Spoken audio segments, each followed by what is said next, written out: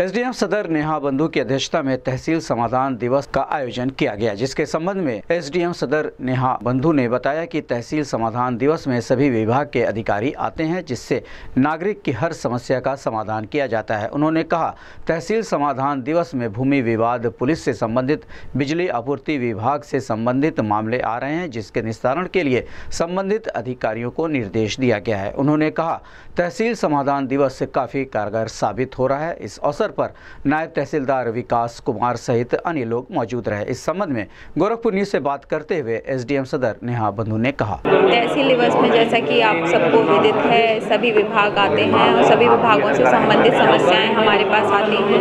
तो तहसील दिवस में ये है कि सारे विभागों का समन्वय हो जाता है तो जिस विभाग की भी समस्या आती है उस विभाग को तुरंत ही उसकी जानकारी हो जाती है। तो एक तरह से त्वरित समाधान का एक ये प्लेटफॉर्म है।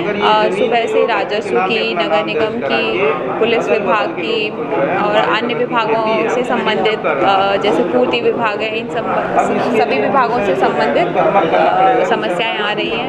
और कोशिश की जा रही है कि जो उसका समाधान हम जितनी जल्दी से जल्दी कर सकें। और लोगों को यहाँ पे आकर चक्कर फिर से ना लगाना अब जैसे कोशिश ये रहती है कि पिछले समाधान दिवस या जो एप्लीकेशन पहले आई हैं, उनका निस्तारण हो जाए और लोगों को ये पता चल जाए कुछ कुछ लोग हैं जो बड़े प्रस्ताव लेके आते हैं, जैसे सड़क, नाली की समस्या तो उन सब समस्याओं में बनने के लिए समय लगता है। तो उनको बता दिया जाता है कि आप विधिवत तरीके से चले जाएँ। उसमें अगर कोई व्यवधान आ रहा है, तब तहसील दिवस में आए।